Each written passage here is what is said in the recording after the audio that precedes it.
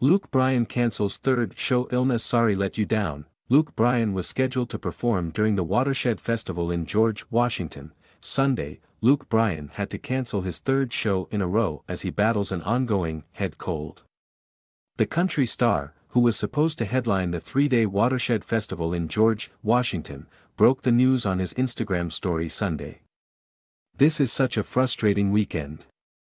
Shedders, I am sorry to let you down but I am not back singing, can hardly even talk still, he wrote.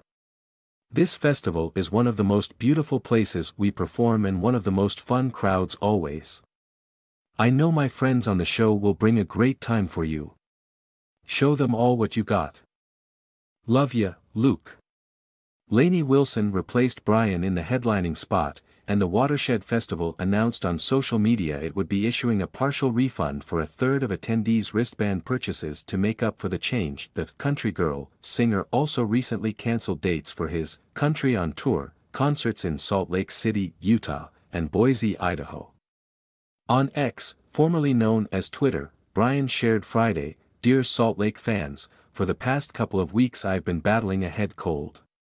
I have been spending those days warming up and singing and have been able to perform. Today I have followed the same routine trying to not give up but I am just not getting better. He added, I truly cannot give you the show I want to give, and announced the postponed show moved to the end of August. He shared similar regrets about his show in Idaho. Dear Boise fans, this is so hard for me to do but I am going to have to cancel my show on August 5th at Ford Center. Under the advisement of doctors I need another day to rest my voice and get better, there is nothing that I love more than to play live shows and I am so disappointed to not be able to do this for you, he wrote, adding he would have information on rescheduled shows soon.